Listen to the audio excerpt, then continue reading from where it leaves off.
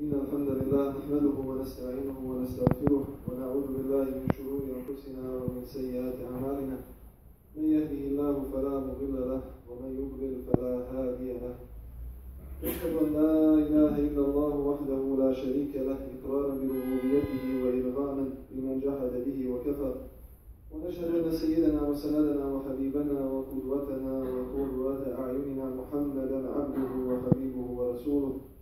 بلغ الرسالة وأدى الأمانة ونصح الأمة وكشف الأمة وجاهد في الله حق جهاده حتى أتاه اليقين صلوات ربنا وسلامه عليه وعلى آله الطيبين الطاهرين وعلى أصحابه الكرام الميامين وعلى من دعا بدعوتهم واستمسك بسنتهم إلى يوم الدين.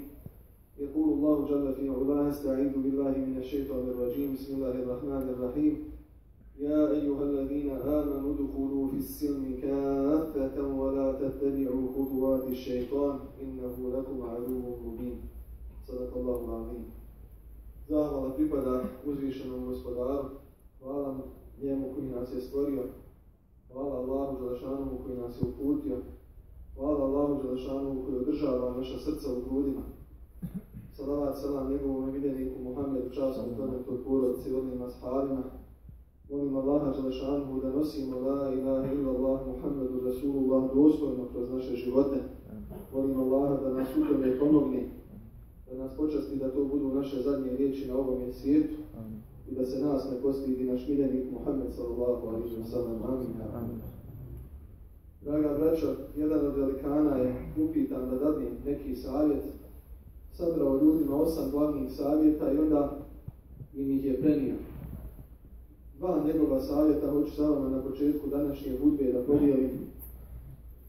Kaže, vidio sam da na Dunjaluku ljudi jedni drugima zavide, da jedni prema drugima zlobu imaju, pa jedni drugi ogovaraju i na čast udaraju. Pa sam pročitao riječi gospodara u Koranu وَنَزَعْنَا مَا فِي سُدُورِهِ مِنْ رِلِ Stanovnicima dženeta daćemo da im u grudima nikakve zlobe ne bude pa sam čitav život radio, ne bi li ušao tamo gdje nema nikakve zlobe. Drugo kaže, vidio sam da svak, neko, ne, svak nešto voli. I vidio sam kako to Hazreti Pejgamber kaže, insana prati do mezara troje. Porodica njegova, njegovi metak, njegov ugled i kaže njegova djela. Pa se dvoje vrati, a jedno ostane. Ono koje ostane su dobra djela raditi da uđeš u kuću gdje nema zlobe i znati šta je vrijedno i što ćeš sa sobom ponijeti je nešto što za svake džume bi insan trebao ponijeti. Današnji kuranski ajet ide ovako, ja i ladina amenu, o vjernici. Mi se družimo sa ajetima koji započinju o vjernici. Njih je 89 u Koranu. Kaže, jedan naš, ali imaš materijala, ama za dvije godine bude.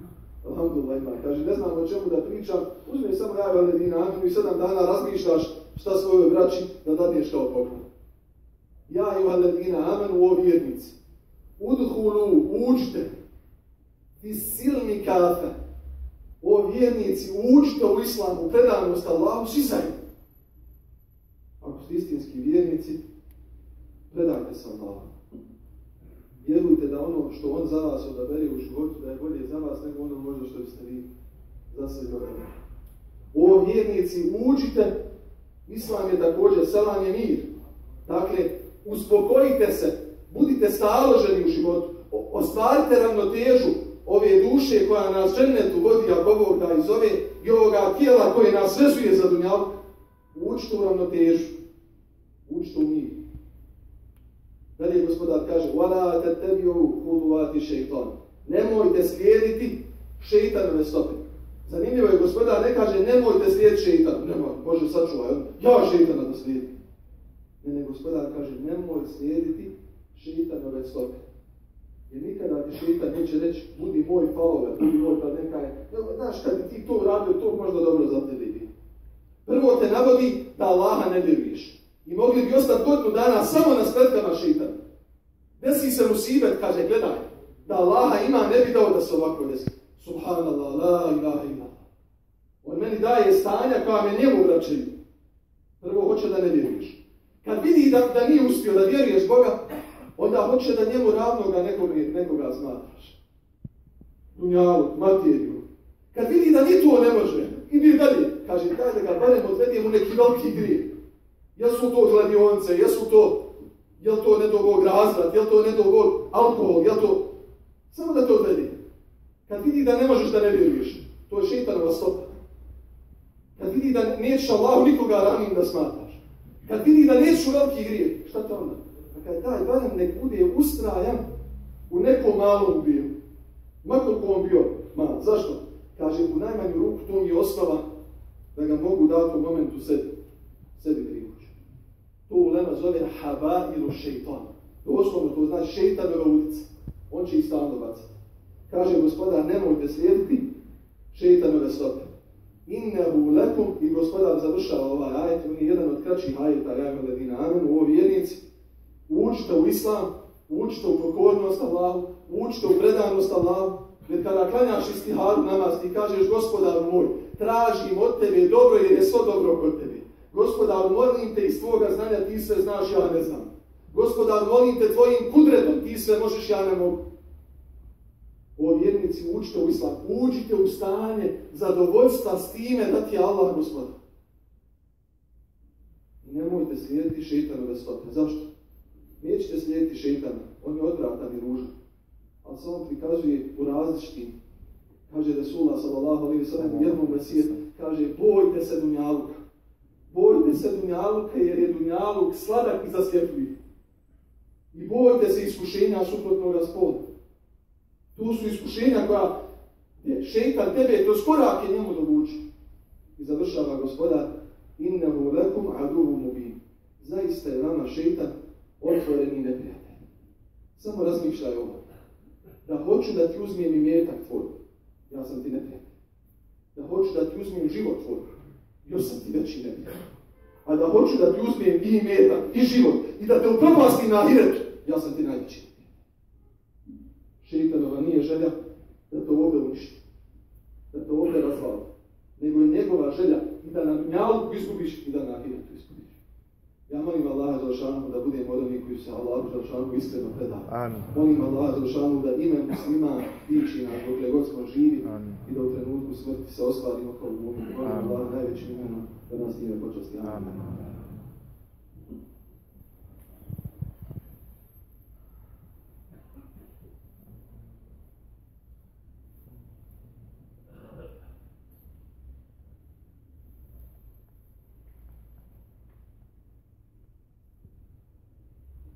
الحمد لله وكفى والصلاة والسلام على سيدنا المصطفى وعلى آله وصحبه ومن وفى ووفى Hvala dragom gospodaru, salavat salam njegovom miljenik Muhammedu častvom kamatu u porodci ovim ashabima. U jednom hadisu Resulullah Muhammed sallallahu alaihi wa sallam kaže Men kale, onaj ko kaže Heleke nasu, propali su svi ljudi. Fehu ehlekehu, neka zna da ih je on uništio. Mnogo je, draga braća, oni koji uništavaju ljude s negativnom energijom koju šire. Puno puta ćete čuti, mi nemamo države, mi nemamo ovo, mi nemamo. Ti ljudi zapamtite uništavaju. Imamo li je dovoljno? Ja mislim da nemamo. Ali imamo, hvala Bogu, državu. Sutra se ako Bog da otvara Ferhadija džana. I da nemamo države, toga ne bi bilo. To je jedna pobjeda, pobjeda umeta na ovim prostorima. I bilo kakve paralele između muslimana ovih prostora, kada se povezuju sa Andalusom, sa Španijom, s bilo kojim dijelom gdje su muslimani ugroženi, zapamtite da su one zlonamjerne. Jer nikada se nije desilo. Hvala Allahu, obnavlja se džamija i sutra se otvara. Dvije stvari su tu i hoću samo da ih podijelim. Sutra kada se bude otvarala džamija, oni od vas koji budu, neka u sebi tiho dobije, neka šapuću Allahu želešanu. Gospodar, počasti nas kako smo materijalno sagradili, da sagradimo kroz prisustvo naših ljudi, biološki da ih bude na teritoriji čitave Hercegovine. Učite tu dobro. To, to je najljepša dobro. Da ih za tebe i meni ostane neko ko će Allah na sve što padne. Kako mi je drago ovdje. Teško je kad vidiš da je neko preselio. Ali vidiš mašala imao sinove, imao. Pa ostala neka dječica. Pa vidiš ono unuča. Srce mi tako mi Allaha, srce mi veliko kao da su moja unuča. Zašto? Zato što ovo je materijalna gradnja, ova druga tek predstoji, vjerujte. Jer smo se mi zatvorili više u materijalnu, mi samo gradimo objekt. Valja graditi insana. Jer jedan insan hiljadu objekata će podići. A vjeruj mi, hiljadu džamija ne može jednog insana odvojiti ako u, džamiji nema insana. Druga stvar. Na danu Vakifa, u Gazi Muslim Begovoj biblioteci, žena je jedna dobila nagradu kao Vakifa. 38 munara u ovom manjem entitetu ona od imetka svoje porodice donirala da se napravi. Da je popije po 10.000, brate. Izašla, izašla je sa svojim mužem, biznismenom, također sa svojim sinom koji je nastavio tu porodičnu firmu. I hvala Allahu, vi naši ljudi koji zapošljavaju, i Allah dani da još više zapošljavaju i da se halal poslom. Kaže, njen sin se obratio, mjesto njen nju stid. Nemojte, gledajte, može sto maraka uvak sto maraka. Nemoj umriti da nisi uvak. Penzioner, imam 350 maraka, po 10 maraka svaki mjesec, evo od mene za džamiju 120, ovo je, Allah u kabuli moj vakf. Neću da ih. Izašao je njen sin i kazao je, kako je počelo uvakufljivanje tih munara. Kaže, rekli smo, Edhem Efendi, Bajvalučku mufti, Čamčiću, kaže, vozi nekog golfa, jedinicu, dvojku, kaže, razvaljenog svog. I mi, kaže, kao biznismeni došli, pred svih, pred 300 ljudi je tu u Gazinoj biblioteci ispričao njen sin. I mi kažemo, Efendi, ama da ti kupimo neko vijesno auto, dobro auto, nemoj da brukaj da ti muftija vodaš takvom auto. Kaže on, meni će, kaže, možda i ovo zapala.